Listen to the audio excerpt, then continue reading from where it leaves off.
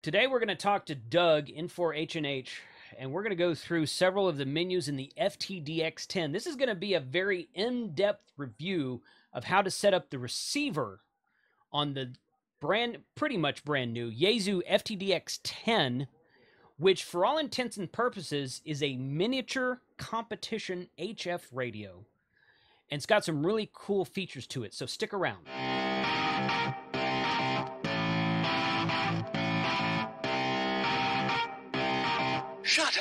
And sit down. Ham Radio 2.0. My name's Jason. I'm KC5HWB.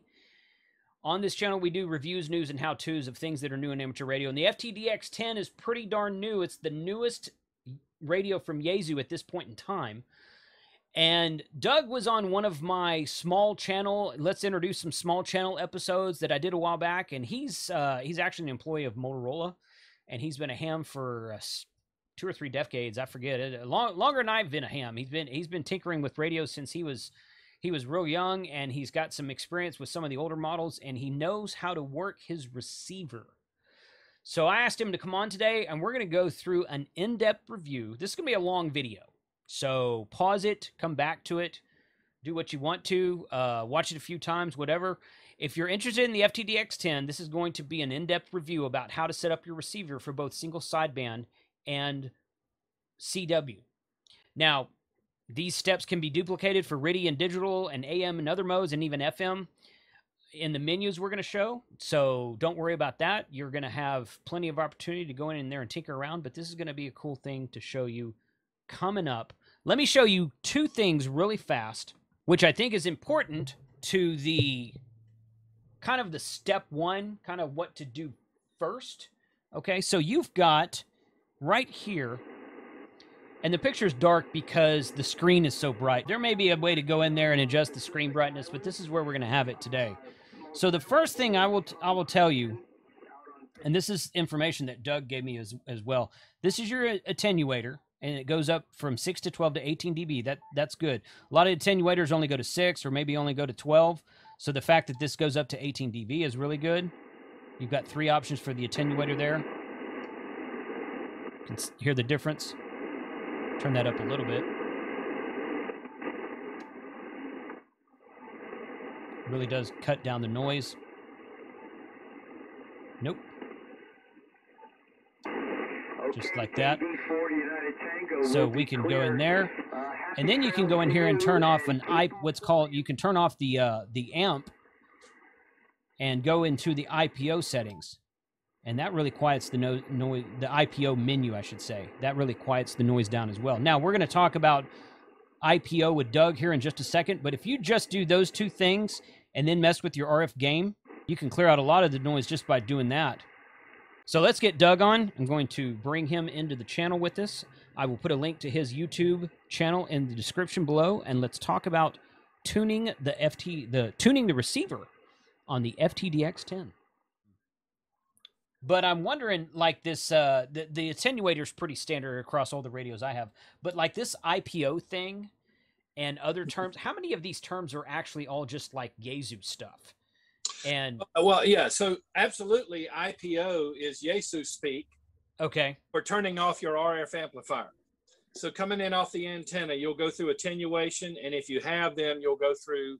Well, you go through a bandpass filter. You'll go through possibly a pre-selector if the radio has one, yeah, and uh, but not a lot of radios have those fancy pre-selectors. The, this IC seventy six ten has it. The um, let's see, the IC IC seventy six ten, the um, mhm, 5000 FTDX 5000 the 101 at D or MP has it Okay. um, now the 10 believe it or not doesn't and even without that pre-selector it still was managed to uh, obtain the third place in Sherwood's list hmm, and okay. that's pretty amazing to me because those pre-selectors are what's helping those radios achieve that DR rating uh, that's you know, the, the selectivity. okay. So that's pretty pretty. I was I was really wanting to see, yeah, and this guy really do it, but it can. I can tell you from using it in the ten is is absolutely has earned its position as number three under the Flex 700 and the 101D um, Okay, or MP, okay. you know, the 200 watt variant. But Right. it's right. yeah. So so what Yaesu speak is IPO is intercept point optimization. It's Mhm. fancy terminology, but it's the intercept point is where it, your first IF comes in and creates a um, you know coming in off the antenna. The signal Mhm. comes in, meets the first IF, generates your first IF frequency, and there's an amplifier stage there too to boost the signal. And so on the lower bands, especially 40 meters through 160, you just don't really need that sensitivity there. You don't need that amplifier Okay. because it drags in a lot more QRN. So Mhm. in Yaesu speak, it's IPO on means turn RF amplifier off. Now, Okay. for example, in other radios, like let's say Kenwood and ICOM, I've got an older ICOM where it's preamp on or not. Mm-hmm. So, uh, pr- so essentially, what you're doing with IPO is not turning on your preamp. But it comes standard with, or the one, if at least the ten comes standard with it on. With mean, that's- IPO on, Well, Uh, well, no. with amp on, amp one on. yeah, amp one should be on. Yes, Yeah. that is the Yeah. default. The, the Okay. radios are aligned at amp one because amp one is going to give the radio what they consider to be the you know the standard select uh, standard sensitivity. Yeah. But um, so it's your option to turn IPO on, which is again means turn the RF amplifier off. So like you say, like I said, on some of the Kenwoods and ICOMs, it's preamp, sometimes preamp one, preamp two, or none, and no preamp on those radios is is similar to Yaesu's uh, IPO on. So it's confusing, but because Okay. you you tell people, oh, it, uh, you know, turn your IPO on to turn off your RF amplifier. yeah. Yeah. Yeah. It just doesn't, yeah, that's- doesn't that's- make sense. That's kind of what I was what, what I was getting at. I'm like, okay, so what is it called? So okay, so we can we can get into this later, but I'd like to know because I I basically know what you're going to show me because we've done this once already. Mhm. Um, but I'd like to know what the kind of the I'd, I'd like to know how to do the same kind of thing on the 7300, and then of course the 7700. yeah, okay. Which I'm gonna I'm gonna guess the 7700 has probably a better selection of tunable variances. Well, I had Um, never had a 7700 in front of me, so I don't know how it was back then because that was back when it was still a superhet, I believe. It was still a superhet receiver. It was not software defined. So, Right. Uh, yeah. Yeah. The 7700 is not software defined. so my older ICOMs, they just have preamp on or off, preamp one, preamp 2 no Mhm. preamp. There's no such thing as IPO, but essentially what they're doing is just not. Tur- well, as a matter of fact, think about it this way: that you you pointed this out, and this is a great way to explain it. A Yaesu Mhm. is going to wake up with amp one on.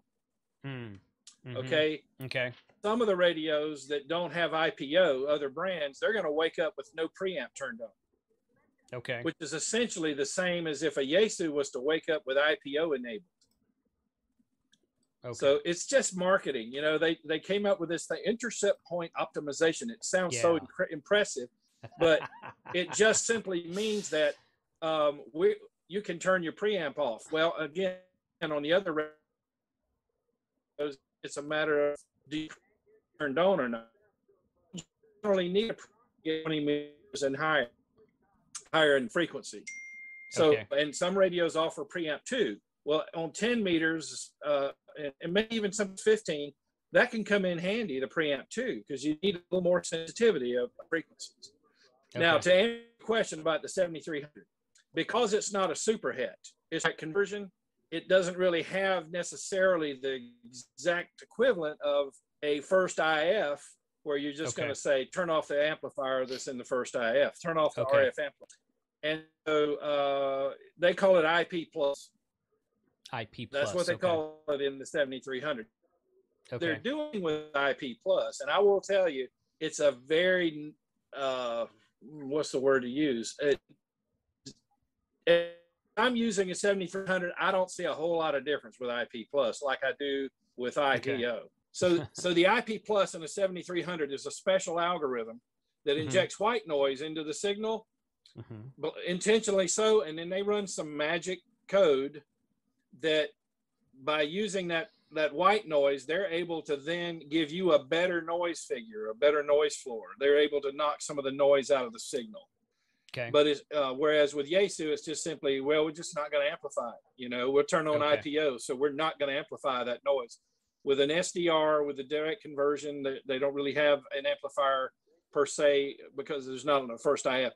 So they're just Okay. going to uh, run that algorithm they call IP plus that does some pro- some fancy processing Mhm. and um, you know not to get too technical but yes it's actually it's funny to think that it's actually injecting noise to Ah, knock down noise Yeah. Yeah. but that's that's how that's the equivalent in in the um in the 7300 now i'm not sure what they would call that in a flex Yeah. We'll have to look at that. Yeah, so yeah, you're absolutely right. Everybody names things a little bit different, Yeah. and it's a lot of it is marketing speak. And the IPO thing, I, when it first came out, it just confused me. Oh. You know, and I'm an old radio guy. I'm an old radio technician. Mhm. I know how they work, and I'm going, what in the world is this? And it's and I find out, oh, you mean that's just your fancy way of saying you're turning off the RF amplifier. And, you know, and, and let me relate this to something real world. okay. older radios, you know, back when hams built their own radios and they were using Uh-huh. tubes and all that, they were just not nearly as sensitive as the radios we have available to us today. They didn't have the technology, these MOSFET transistors we have and all. Mhm. So, uh, you know, they would not have needed an IPO probably. They would have needed an amp too. Ah. So, so okay. what we've reached, we've reached a pinnacle in technology where the receivers are so sensitive that on those lower bands, they're really too sensitive. right. So the answer to that is for those, let's just say for those of us, I know hams who don't even care about using digital noise reduction. They don't care. They don't mind the grind. Yeah. But for those, and I'm, I've, I've been spoiled by the 5000. I've gotten to the use, so used to being able to do sideband and not hear the grind. hmm And so for those who don't want to hear the grind, you, you need these tools to be able to knock that noise floor down. And IPO is one of the very first things I do it with. Now, attenuation works hand in hand with it because sometimes, like I've got another ham in my neighborhood, I, I'd have to attenuate him a full 18 dB Mm. because I Oh, want I want to protect yeah. the front end of my receiver. You know, you can Sure. damage the front end of your receiver. Mhm. So attenuation's your first attack there, and then still I run IPO. Mm. So you work those two stages together, really, just to get. I, I, the simple way I explain it to people is, work the noise floor down to S zero.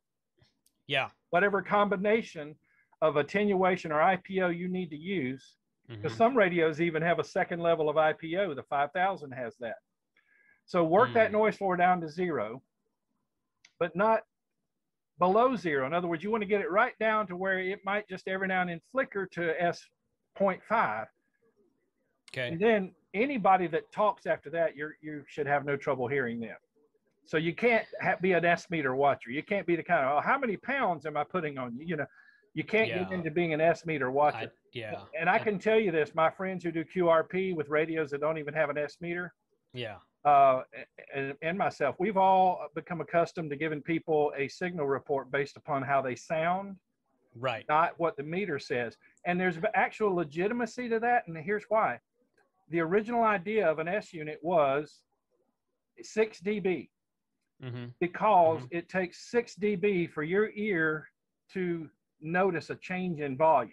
hmm So the idea was it, it would we would move the S we, we would say that one S unit of increase meant that your ear could notice the change in how good somebody sounded, how loud they were.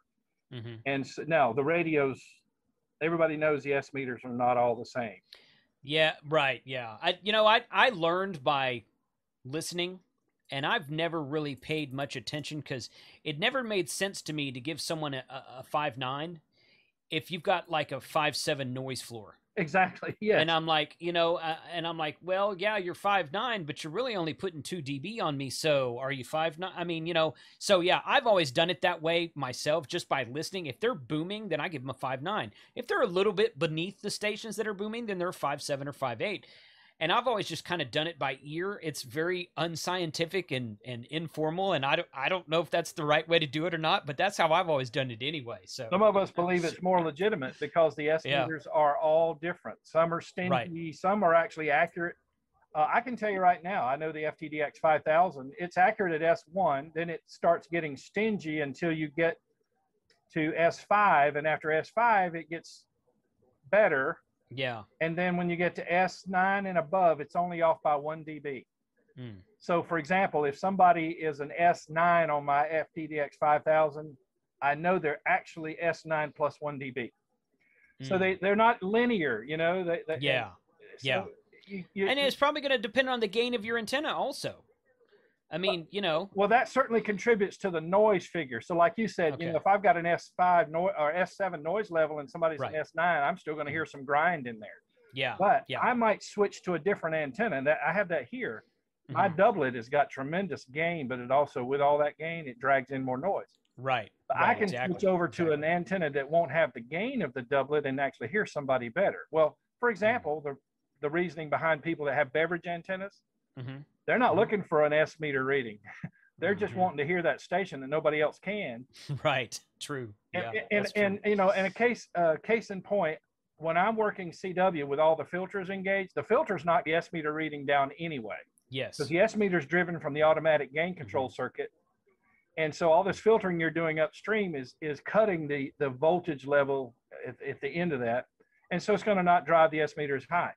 Mm. But I can have somebody filtered in CW to the point where they're not even wiggling my S meter and I can legitimately call it a 599 hmm because I'm hearing no noise, I'm hearing pure signal and great tone. hmm And so you got to get past looking at S meters on any of these radios. I mean, I Mhm. haven't I haven't gone through the 10 and tried to analyze its S meter accuracy, Mm. but I Okay. I would suspect that, you know, it's it's every radio is a little bit different. So you're I think you're totally legitimate in giving somebody a signal report based upon how they sound to you. Going back to the original intent of an S meter, which was to read a change in, in volume, a change in audio level. Right. Right. Right. Okay. So Good. All right. what do you want to start with? Receive? Uh, well, yeah. Let's start re- receive, and I'm I'm gonna put it back to where I found it. And uh, Uh, you're just like me, man. That's the way I like to show 'em. yeah. And with that radio, by the way, you, you've probably noticed this by now. In the menu system, if it's in yellow, it's a default. And then on things like the filters, they'll uh, like the filter width at the top right, that ring, that'll mean that'll go gray when it's at a default, but the and the default is 3,000 hertz. Gotcha. And Okay. one other thing, they light up those little orange LEDs behind the behind uh, next to those knobs, and Yeah. also sometimes inside the buttons, to let Yes. you know that that is uh, not on default. Right. So okay. I'll, I'll show you that when you're ready. Okay. Let's see. I think I'm gonna do it instead of having us both on there. I think I'm gonna do it like that. That should be a little bit better Oh, that's man, that's perfect. Okay. All right. So let's do that instead. Um, okay.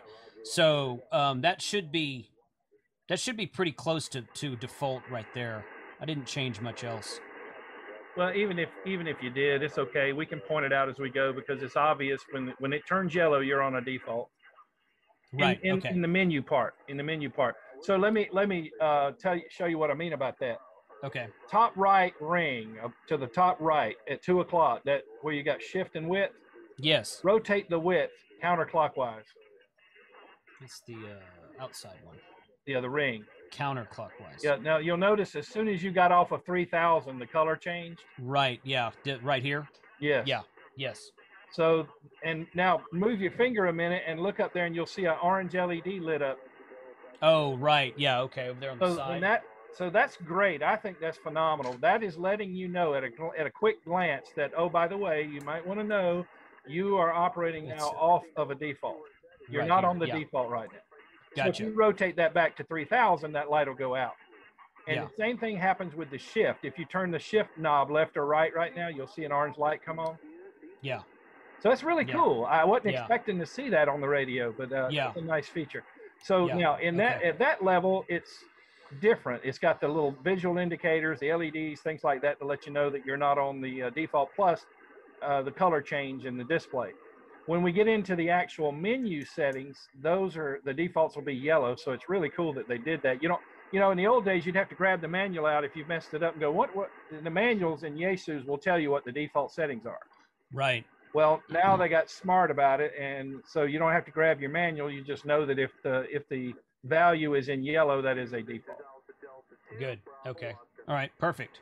Okay, you want to work on uh, receive audio tapering? Yes. That's usually the first thing I like to do to one. Sounds good. All right, so uh, you got your we're on a sideband station, so let's go press the Yeah. function button in. It acts as a multi knob. The function that function knob is a button as well. Yes. And by the way, just in case I forget, before we go here, let me do one other thing because I'm liable to forget this later. Uh, just just hit the back. Yeah. Now go back up there and adjust the width and the shift. And don't don't I don't care where you put them, just move them where the orange light comes on. Okay. Do both of them. There you go. Now long press the shift knob. Just press it in straight and hold it. It'll that's what will revert back to defaults. Oh, so no. Oh, so I don't have to turn it back. You don't It's- have to turn the knob. I gotcha. I and, gotcha. and by the way, one of my viewers who owns one of these radios um, told me about that. His name is Todd. Really cool. So I really want to thank Nice. for that. okay. Um, so, you know, you can always learn a little something. I don't care how smart Sure. you think you are. You know, oh yeah, totally. especially yeah. since he's had a lot more time with the radio than I have. I've had one for Yeah. about five days now. Okay, so now yeah, press the function button in. So that's what reminded me that some of these buttons on Yaesus, you pre- they're they're not just knobs; they're also buttons. Now down in the bottom left, you'll see where it says radio setting. Mm-hmm. Press that, and uh, then look for SSB audio. Um, SS mode SSB sorry, mode SS left. mode SSB. Yeah. Okay. Yeah. That's that's then- the default one. and then tap that arrow because it doesn't look like you're all the way at the top. So tap that arrow so it moves all the way back to the top. There we go. There we go.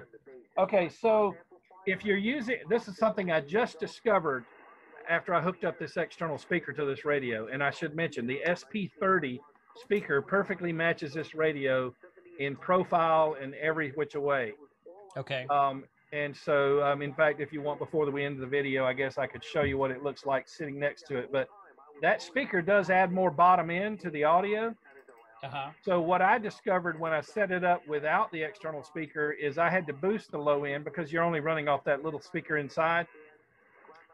And but let me go ahead and give you the numbers I would recommend just right now out of the chute. On the very top one, just tap it. Yep.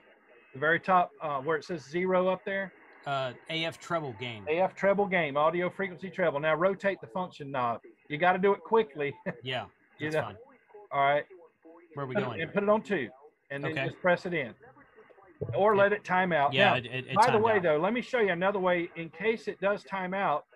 As long as you're still on, have that one selected, press the function button again, and it'll actually allow you to adjust it again. Gotcha. So you can Okay. either tap it on the screen, or there's a lot of Or- features on the radio or that are like that. Go Yeah, either way. either Gotcha. or. There are numbers of, of there are a number of features on there on the radio. You know, setting frequency. You can tap the screen, or you can do it with a VFO, things like that. There's uh, several functions that are duplicated, so you can do touch screen or a knob. Okay, now for the mids, let's just leave that alone. So it'll be yellow, Okay. and the AF middle tone gain, and then the bass gain. Since you don't have an external speaker hooked up, let's see how it'll sound at a setting of maybe seven or eight. Try try eight for the third one.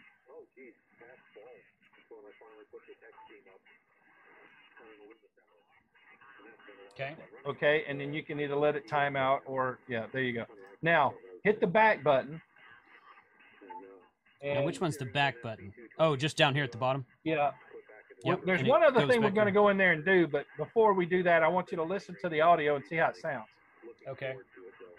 You've got somebody on the air, right? Yes. So, you know, you uh, you might Okay. have to take that lows thing and um, and and you know turn it up and down while you're listening to somebody to decide if it's enough lows or You not. are properly logged. That's Kilo Alpha 4 Juliet Victor Yankee. Everything goes on QRZ as well as the logbook. I think that's that good. that's, That's uh, I think that sounds good to me. Okay, so now let's go back into that menu and let me show you something else. And we in the audio world we call it shelving. They don't call it that. They call it low cut and high cut. Right. And so uh, so scroll down with the arrow until you see low cut L cut frequency. Yep. Right there. All right. So L cut and high cut. so out of the box, it's going to have a, a set at 100 for the low cut with a 6 dB slope, and then out of the box, the high cut is going to be uh, at the default of 3,000 hertz. So in other words, they're giving you. Yeah, these are these. We changed these the other day, so they're yeah, white okay, instead yeah, of yellow. There you So go. that's where that's there you yeah. go. That's the default. That's the default right there. Okay. So, out of the box, they're giving you a wide range to listen to 2900 hertz of bandwidth.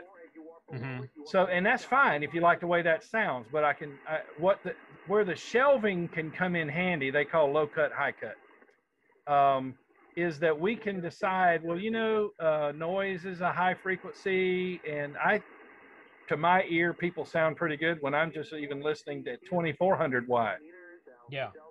Well, if you're happy with a 2400 width, there's no reason in in uh, listening at 3000. So you Mhm. can go in here and you can tailor that a little bit. So, for example, um, let's do the high cut first, and let's Okay. drop that from 3000 down to 2400 just for just for grins. We'll do we'll do something else too, but I want to show you a little trick here. So, what I'm saying there is is after 2400 hertz, which the human voice is going to be between about 300 and 3000.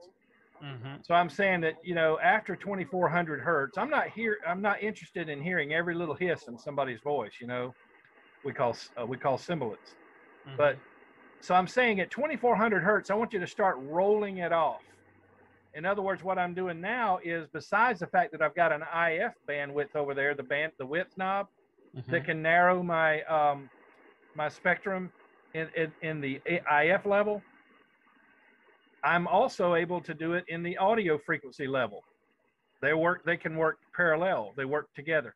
So Okay. the, the six dB per octave. What that means is, is if I'm starting to roll off at 2400 hertz with six dB per octave of cut of slope, that means at one octave above that, which is going to be 4800 hertz. An octave is double or half. hmm So at 4800 hertz, the amount of high frequencies I'm hearing have dropped by six decibels. Okay. So think of it this way. If I drop it to 2400, I'm not going to not, it's not that I'm not going to hear 2800 or 3000. It's Mhm. going to be, but it's going to be minimi- minimized somewhat, which is going to help, uh, help with the noise floor.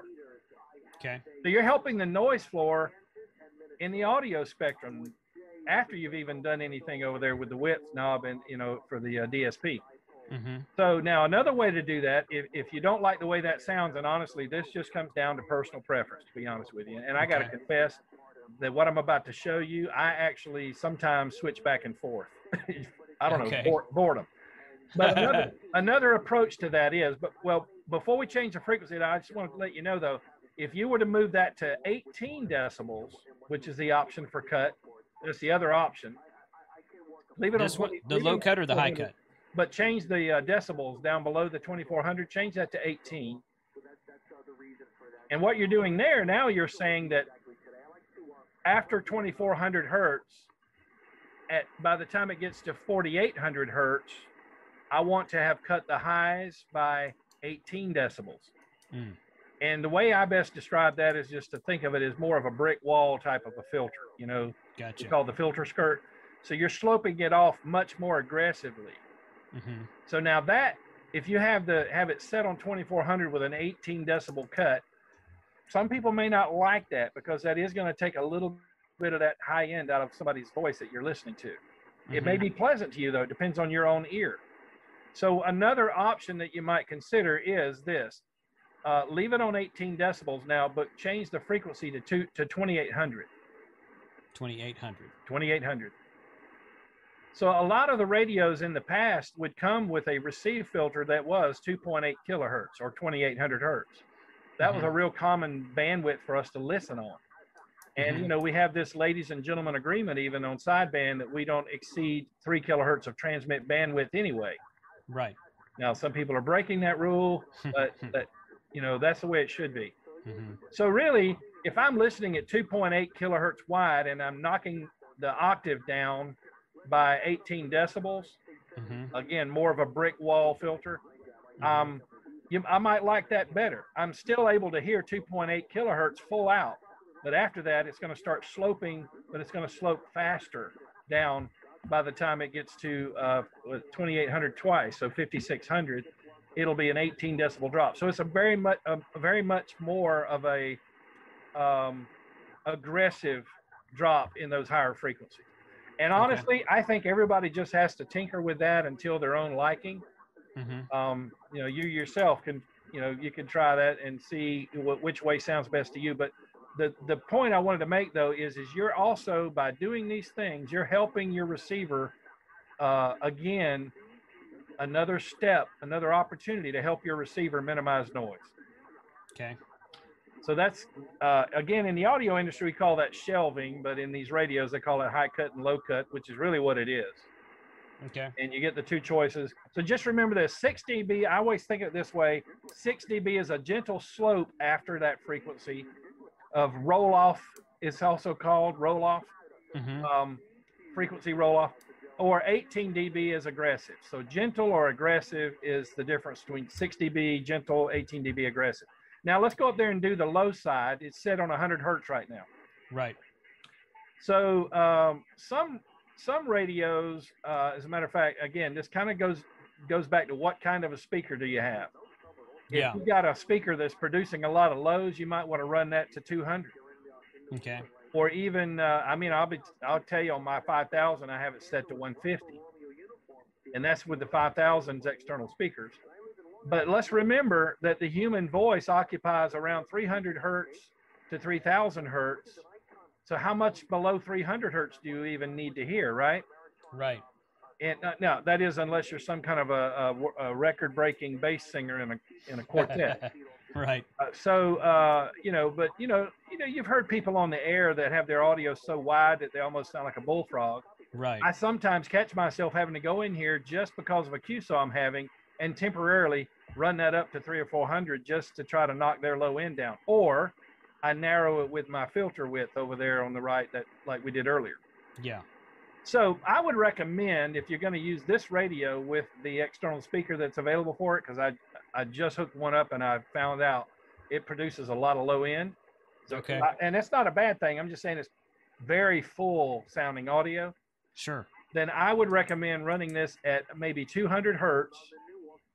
So let's just pretend you have the external speaker, Okay. and then gently slope it off. So leave that at 6 dB. Okay.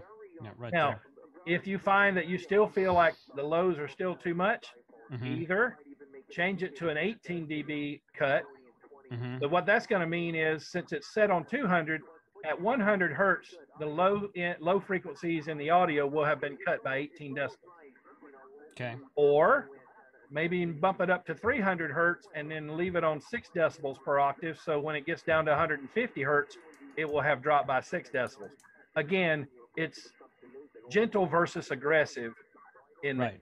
and and Okay. really there is no formula other than to say what sounds good to you but what we're going to do in this video is at least um, equip people with the knowledge of knowing what those controls do and then they can go in there and tweak them to their their own liking Gotcha. Okay. but in my experience with the radio to my ear um, i just felt like that you know 150 hertz with a 60 150 to 200 with a 6 db slope was a good sound okay.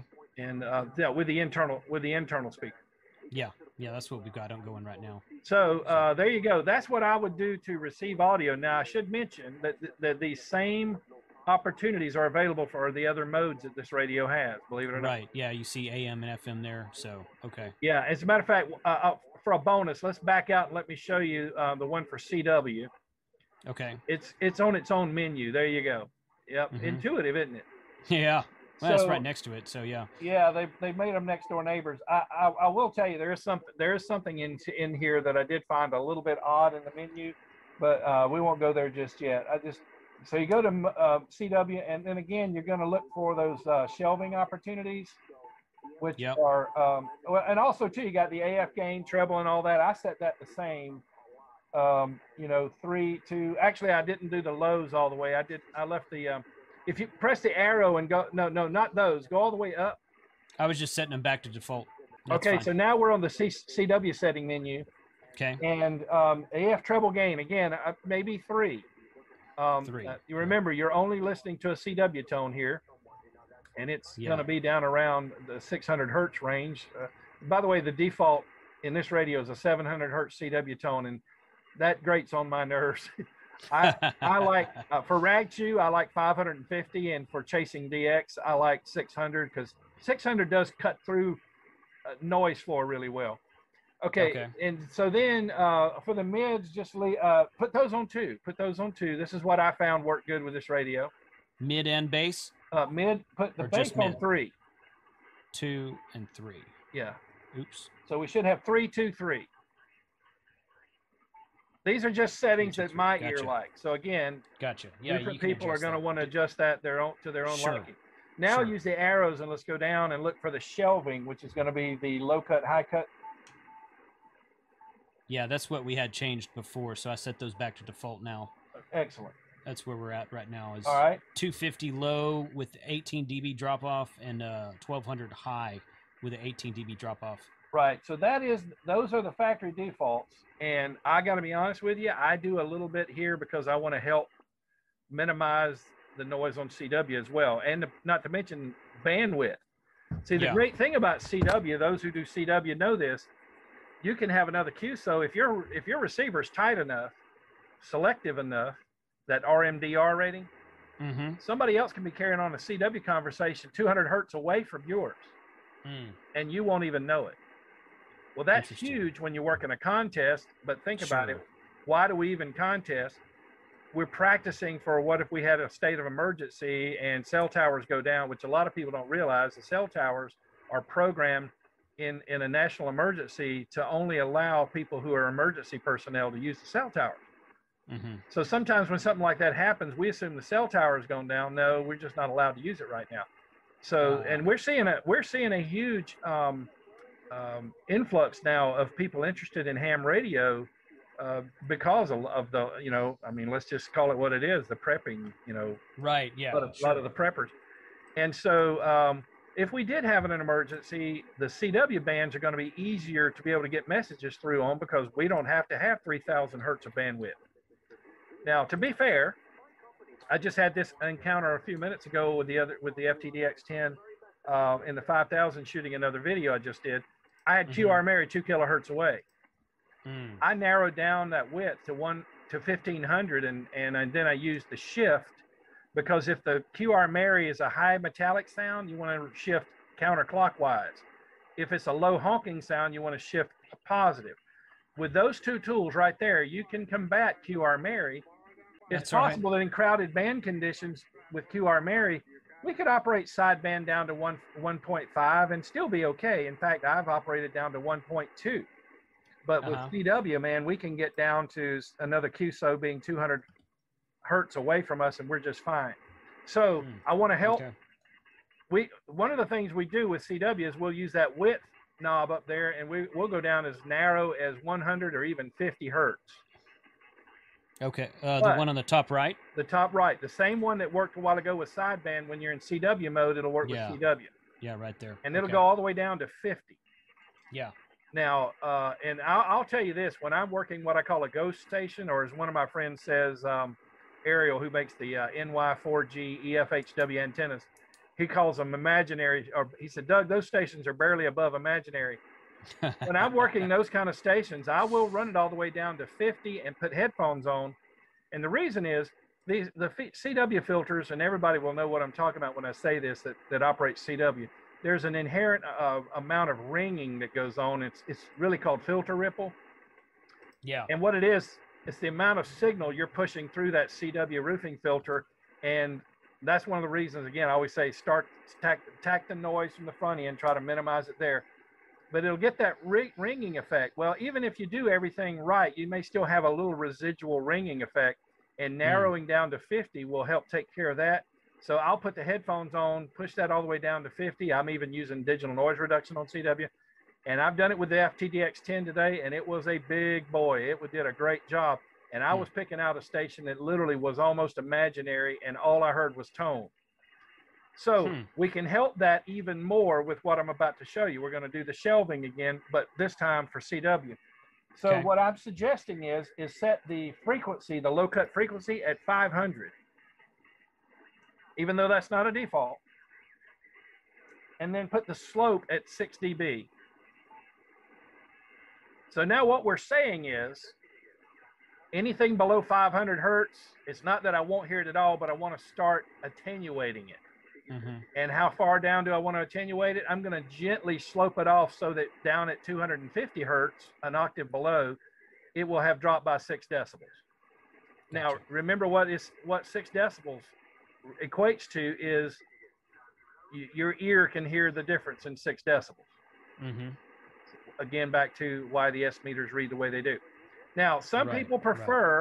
To leave it on 250 and then go to the 18 dB cut, so they'll hear all the way down to 250, and then the and then they just make it drop right off, almost like a brick wall.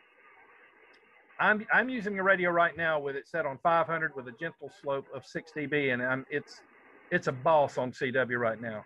In Hmm. fact, it's breaking my heart because it's hanging right with my 5000. Um, So so now the the high cut frequency. If you're like me and you like a 600 hertz CW tone, you don't need to hear 700. And the default is 1200. I certainly don't need to have my audio stage trying to amplify 1200 hertz when I don't really even want to hear that. So I'm recommending you lower that down to 700 hertz. Now, if you're going to use the radio out of the way it is out of the box, with a 700 hertz tone. If you're one of those people who prefer a 700 hertz tone, then put that on 800 hertz. Okay. But I Mhm. like 600, so therefore I drop it to 700, which by the way is the lowest it'll go. oh, okay. But also uh, leave that on 18 decibels per octave. So what I'm saying there is I really want a brick wall. I'm saying at 700 hertz, I don't I don't want to hear I don't want to hear anything above 700 hertz. So just cut it off as quick as you can. And 18 dB is the maximum that it can do. To so we're we're aggressively sloping that off. So Right. those settings there, in combination with the audio settings, in combination with that DSP width knob up there in the top right, but uh, uh, off from the VFO, Mm-hmm. will give yeah that that will put this radio on steroids on CW. It, I mean, I've just been Hmm. I've been blown away by the receiver in that little radio, Okay. and and you know so that's a good reason why Sherwood is giving it number three place in the world right now. It's just amazing that a radio in this price range can Yeah. do that. Yeah. So Okay. now, if you hit the back button and get all back, oh, you can get all the way back out of that. So that ought to give somebody a good. Uh, don't before you go any further though. Stay right Yeah. there for a second because I want to show you the one little quirky thing I found in the menu, and it applies to CW as well. But um, you know, everybody's going to need to maybe tailor everything we just showed them to their own liking. But the, to me, I find these uh, as good starting points. It's like I've had many people on my channel say, "Hey, would you give me what your uh, your EQ settings are for your microphone?" Well, I mean, hand mic, desk mic, Heil PR 781. You know, it's all Mm-hmm. different for different mics. But also, if I did give them, and I have, I've given people my settings, but their voice is going to be different than mine. So my settings are just going to give you a good starting point, and then you tweak from there. And the same can be true of these settings we just went through. I want to show you something I found to be a little quirky. The next button over to the right, Operation setting. uh, operation setting, and uh, go back, go to the top, and you're going to see uh, noise blanker width and things like that. But I, what I want you to do, because that's general, uh, press RxDSP. Yep. Okay, the APF, that's the audio peak filter. Now, I believe you have those in, in Flex radios. I've been told you do. I've not had the pleasure of playing with a Flex radio, but um, I mean, to be honest with you, I have at Hamfest, but I'm Yeah. told that it does have this feature audio peak filter. So, what audio peak filter does for you on CW now, it's a CW tool, Okay. is after you've done all of that other work that we just did. So you've got the audio spectrum set, you've got your shelving, your you know your high cut, your low cut. You're going to use the bandwidth down to maybe 50 or 100. Some people prefer 100. Like I said, it's it's when I'm working those eh, almost imaginary stations that I find 50 helps. You, you just about have to wear headphones. Okay. And but here's one other thing that can help.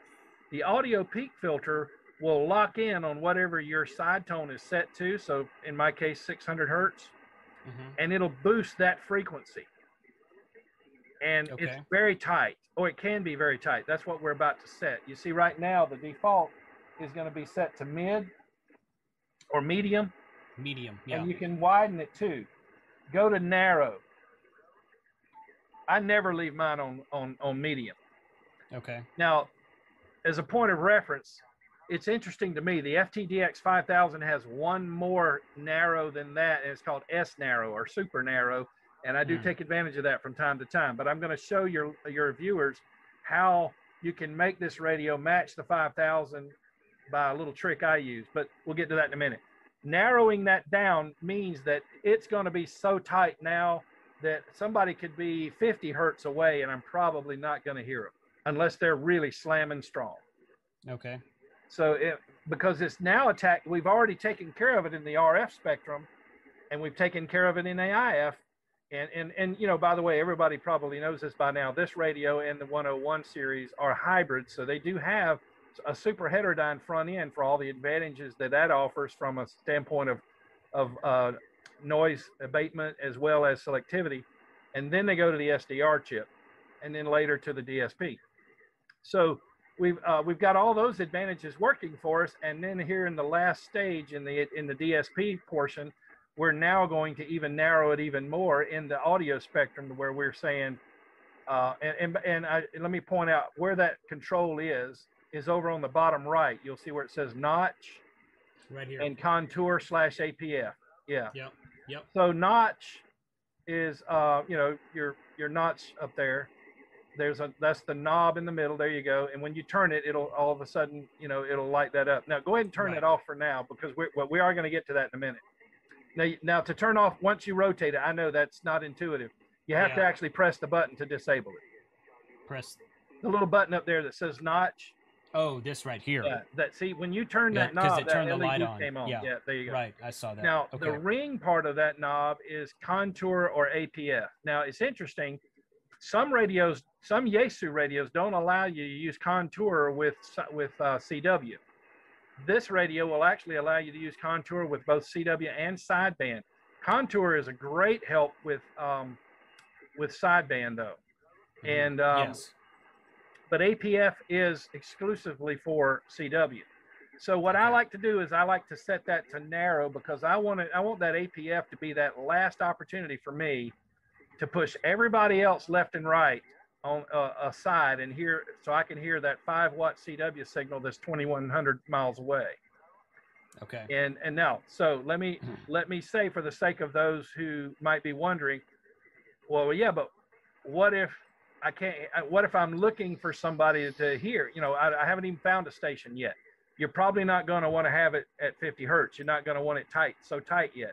Maybe widen it back out to 300 hertz with that with that uh, the filter, the width button up there on the um, the control, the width knob. yeah. This this one here. So once you Yeah. and then what? Yeah, that one. And once you find somebody, then uh, then you can narrow down. Then you can narrow down. And by the way, the, the S meter right below it, there's a little indicator, a little white thing that moves back and forth for CW. That when you get when you get centered on them, it will be in the middle. Yeah, This if we right were in CW mode, I'd show you that. But um, yeah. it will be when they're centered up they'll it'll be in the middle and what that's doing is that's letting you know that you have arrived at a frequency because they could be a little off frequency with their cw transmitter. It will let you know Mhm. that you have arrived at a frequency that will produce the 600 hertz side tone that you want. Then you can narrow that down to 50 and you'll absolutely hear them but it is true people would say yeah i mean if you're at 50 hertz width you won't be able to hear anybody else. You might accidentally even scroll past somebody you know because it's so narrow so yeah, widen it out temporarily till you find a signal, and then when you want to lock in on that station, then narrow back down to uh, 50. So, uh, so if you want to go back into that, I'll uh, what I'll tell you. I, the reason I thought it was quirky where it was located, if you click back in there, is that the APF is associated with CW, and yet they put it over here uh, with Contour. Ah. Now, Okay. I, I'm I'm sure the reasoning is is because of the fact that Contour and APF share the same location on the radio down there in the bottom right. You know, those what we call ganged pots. Yes. Down So the- yeah. Yeah. the two there. knobs are together. Yeah, so that may be the Mhm. reasoning. They're just saying, okay, for those two, we're going to put them together. But just Mhm. know that the uh, the APF width is related to um, to the uh, contour. Now, the next one down, contour level, and contour width. I actually like the Yaesu defaults there. Okay. Um, what contour is for, and this is unique. I, I, I- have heard there's another brand of radio that has it, but I don't want to say for sure because I haven't seen it myself. It's a rumor at this point. But Mm. what contour is, is a, the ability, as you can see, it's negative 15 dB. So it's actually cutting something. It's cutting a range of frequencies in the audio spectrum if you turn it on. And then how much of a cut it's doing is set by the next, no, the next control down, the contour width. And that has can be set from 1 to 11. Okay. So when we get back out to the other screen, I'll show you what all that means. But I'm going to recommend you leave that where it is. Okay. And then for the IF notch, put that on narrow.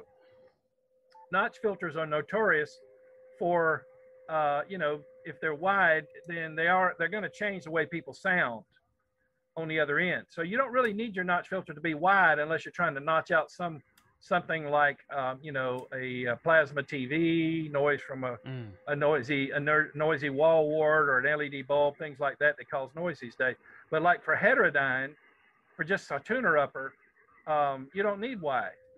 And and and so narrow is uh, what I prefer because you almost you you can barely tell that you have the notch turned on with narrow. Okay. So you're literally going to focus on only the offending heterodyne that you want to knock out. So those are the settings I would recommend. Now, Okay. if you want to hit the back button, and let's get back out to where we're hearing some sideband, and I'll and we'll put that contour to action just so people can understand it a little more. Okay. So, um, if I, is anybody talking there? Not at the moment. Well, There was somebody you know on this ago. screen, uh, I, I see that you've got it on um, on waterfall, uh, the non 3D, which is cool. Uh, but you know, this radio, just like the 7300, you can tap one of those spikes that you see poking up there, and it'll it'll get you close to that signal, Right. and Yeah. then you can yeah. fine tune it. So if you if Yeah, you like want to see if you can find somebody that's talking. National NCX 500. Oh, excellent, excellent. Enjoy that. Uh, I do have I do have some semi-modern stuff. I've got uh, And uh, and by the way, uh, a noting noting that he's coming in best at, at um, 14178.030. Yep. He may be a little off frequency because this radio has a TCXO standard, Yep. and um, so and it's stable to 0.5 parts per million. Okay. Now I will I will say the FTDX 101s have it at 0.1 parts per million, so they're a little more stable even than this radio. Okay. And the FTDX 5000 has an oven controlled crystal oscillator that's stable at 0.5 parts per million. Wow. Now, if you do the math on that, you're going to go, wow, that's even 10 times more stable than the FTDX 10. True, but I got to tell you, for all practical purposes, a TCXO at 0.5 is quite good. Yeah. Okay. But chances are, if you're not, if you're hearing somebody and they sound a little off frequency, it may be them. They may maybe they're operating on an older radio or radio that doesn't have a TCXO. All Okay. right, so let's play with contour. Uh, go down there to the uh, where you see APF contour slash APF and engage that. It's a button right above the uh, ring, the knob. Yeah, I got it. I got it. It's on. Now, you'll see a little scoop. Turn it off for a second and look up there in the spectrum right below frequency. You see your Yeah. So right, right here. right there. Yeah, you see that It little turns scoop. this There you go. Yep. Now, I see it. if we were to go into the menu and set that to negative 25, the depth Mhm. of that little notch there would go down more. If we were to set it to 11 instead of 10, it would widen a little bit. Or if we dropped it down to three, it would narrow a little bit. Okay. Now, what that is, uh, if you turn your volume up and sweep that contour knob a little bit, which is going to be the ring at the bottom right. Is he not? T- he's not talking right now. Yeah, he is. Oh, there we go. Now, I'll, I'll give you my um, rule of thumb with that. I find that contour to be most effective at somewhere between 1700 and 2200 hertz. He stopped talking as soon as you said he's not talking right now. Let me go up here. This guy's talking.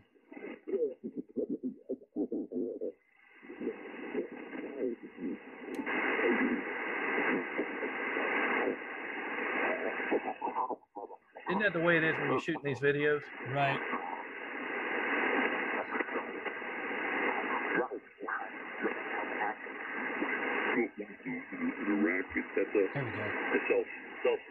There we go. Okay, so rotate the contour and put it at 2200 just for grins right now. Now you're going to notice it's cutting the highs. Yes. All right, now go down to 1700 and you're going to hear a little more highs come back in. got some other weird stuff. Got some World War II equipment. Uh, Yes. Okay, so, uh, you know, I like to call that luster, you know. Um, Right. So here's the deal what Contour is not intended for, it is not intended to give you a high fidelity. Right. Okay. It's another tool in your toolbox to fight noise. So if I, I'm chasing that rare DX on the Pitcairn Islands hmm and he's right down in the weeds, you know, he's right in my noise floor and I can barely pull out my signal report. hmm Of course, it's always five nine, right? right. But- right. But you know, let's say it's a legit thing. You're truly really trying to get, you know, the the maybe you don't know the call sign of the other station. You're missing one letter. That'd be a great example. So I, what I'm going to do is I'm going to turn that contour knob, and here here here's why I'm focusing on the range of 1700 to 2200. uh-huh. Like we said before, the the human voice is going to fall mostly between 300 and 3000 hertz. The intellig- intelligibility, easy for me to say, the intelligibility range of that is going to be up in that 2000 hertz plus or minus range. Okay. Now that will also depend on the voice of the other person if they've got a higher pitch voice or a lower pitch voice, right? Sure. Sure. So that's why we can't say there's a there's a there's one size fits all. There's one place to put contour. But what I the way I describe contour is, I want to put that little notch that we see on the screen right next to where their voice is the most intelligible. Right, that. You hmm want to slide that up and down the spectrum until and here here's the straight skinny on it. The easy way to remember this: rotate it until you can hear the other station good. Okay, but No. in effect, what you're doing is you're getting close to where their voice is the most intelligible, and hmm you're knocking the noise floor down right next to it. Okay. So I'll describe that to people as sneak up on them. So start, you know, that thing may come up. Different radios have the, the contour comes up at different defaults. On one radio, Mhm. I've got, I think it's 350. I think on this one, as I recall, it might have been default at 1500. Mm. So, but what you're going to do is you're going to sneak that contour control up to where you're getting, you're knocking the noise down right next to where they sound the best. And what I have found that to be, depending on the person's voice, it Mhm. usually falls somewhere between 1700 and 2200 hertz. I think maybe one time I wound up even at 2300 hertz, but no more. Okay. Now, I should say, in all fairness, you're probably going to have viewers like I have that'll come up and say, Why did you cut with the contour? Why not boost? You can. We can go back into that menu, and instead of a 15 d- dB cut, we can actually boost it, say 10 dB, for example. Okay. And then that little notch you see there becomes a hump. And, Ah. And the rule and the school of thought there is, well, wait a minute. If you say that what I'm doing is I'm getting up close to where their voice is intelligible and knocking the noise floor down next to it, what if I do the opposite? What if I set it to where I'm going to boost and then I find where their voice is the most intelligible and I and I boost their voice? hmm That's okay, but what I have found, my own personal feeling about it, my own personal experience, is it also drags more noise up. Mm. You know, Yeah. because the noise is in Yeah. that area too. And so I'm not going for high fidelity there. I'm going Mhm. for getting that last letter in his call sign. So I prefer to knock the noise down and just leave their their voice there, even though it will darken up the way they sound a little bit. Okay. So that's that's the beauty of a contour control. In fact, when my friend Joel and I first uh, got first radio we saw with, that had that on there, we were just blown away. You know, Mm. the effectiveness of that uh, the effectiveness of that when you are down to that. Now I will tell you, I usually use the contour control in in conjunction with digital uh, digital noise reduction. hmm Uh, the digital noise reduction and the contour together can be uh, you know a lethal weapon combined. But sometimes you only need one or the other. Okay. And again, on this radio, I have discovered that the DNR seems to have gone through a, a, a major improvement, and uh, settings of, of even one are good, but even two or three, you don't need much more than that, except on CW. I may actually run it to 10 or even 15 for CW, the digital noise reduction. Mm. And so sometimes you'll use digital noise reduction to attack the noise, and then the contour puts the icing on the cake, as it were. hmm Okay. And I love how this radio shows you a visual indication of everything you're doing right there in that audio in the audio spectrum, and uh, you know Mhm. gives you a good visual. One other thing about contour, like I said, it can be used with CW. Some radios don't give you that choice. Uh, The 5000 does, and the 10 does for sure. And so, uh, what you'll find that it can do for you on CW, I, I still prefer APF, okay? Mhm. But you can run that down to about 100 to 200 hertz, 300 max, and you're knocking some of that low end roar that's below the CW signal. But remember, we set it up right a while ago in the audio chain where we told it to knock down 500 hertz and below anyway. Mhm. Mhm. So, Okay. uh, but you could again icing on the cake. You could put the contour down around 300, and if there's anything left over down there, plus or minus 300, just adjust it and see what works best. Then you're then that that contour control can take care of whatever's left over uh, in the CW spectrum because we're listening at 600, for example. We've we've told this the radio to low cut starting at 500 and knock it down really really uh, at a 6 dB slope. I think we decided, and then so at 250, which is half of 500, you know it'll be knocked down by 6 dB. But if I sweep that contour control in there around 250, 300, 350, I'm Mhm. helping even more to knock that noise floor out from under the CW signal that I'm trying to pull out. Okay. So wonderful feature there, the contour. Good. All right, so we've gone through a, a lot that has to do with the receiver. I guess Mhm. you know at some point in a future video, if you want to, we can go into transmit. I've already Okay. uh, got together with my friend Joel, and he got on the other on a radio on his radio, and we went through and found the optimum settings for my voice, which Mm. would be a good starting point for someone else sure. for setting the radio up to work with a hand mic. And Okay. uh, and I now have the adapter cable, so I'll be able to go through the, and do the same thing with the PR781. Oh, Yeah, okay. the good. hand mic- Good. The hand mic's cute, isn't it? Yeah, it's yeah, it's different. Uh, the contour of it's different looking. Yeah, they made it So- completely different than they have th- their MH31s. Right. Um, but but you know, and it's got this um, it's got this modular plug on it. Yeah. a little different thing for Yaesu. But for example, the MD100 desk mic from Yaesu, the cable for it can be reversed. Mhm. So it can either work with a Yaesu rig that has the eight pin, or it can work with one that's modular. The MD100 has the cable where it just flips around.